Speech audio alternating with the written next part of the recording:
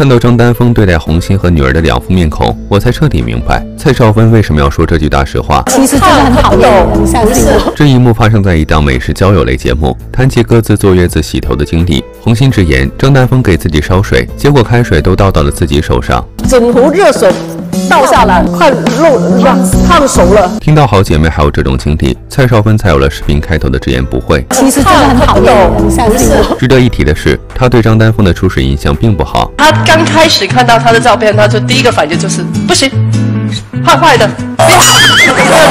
其实对于这段姐弟恋，蔡少芬一直不看好。事实证明，张丹峰对红星也不只是讨厌。在一档亲子节目中，张丹峰拍完戏就急忙赶回家。从进门的一刻起，他满心满眼都是自己的宝贵女儿，对妻子却是连一个关心的眼神都极其吝啬。为了博取女儿的好感，张丹峰还特意做了女儿爱吃的鱼。所以彤彤还是最喜欢吃清蒸鱼，而且最喜欢吃，哎，我准备的这一种鱼。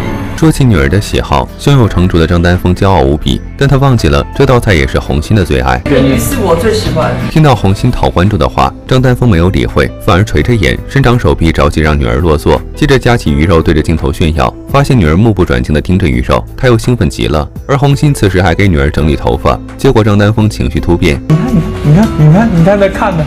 妈妈，你别挡着。红心的胳膊明明只是一闪而过，张丹峰却直接不耐烦。吃饭时，红心拘谨的像个外人，张丹峰却只顾着给女儿喂饭，对着镜头侃侃而谈，完全不在意红心的情绪。需要强调的是，四十三岁的红心冒着高危风险生下女儿，而张丹峰似乎并不重视她的付出。女儿和红心尤为亲近，张丹峰不思考自己的问题，反而对着红心阴阳怪气。我就是想看看你有什么独家秘诀讨好我的女儿。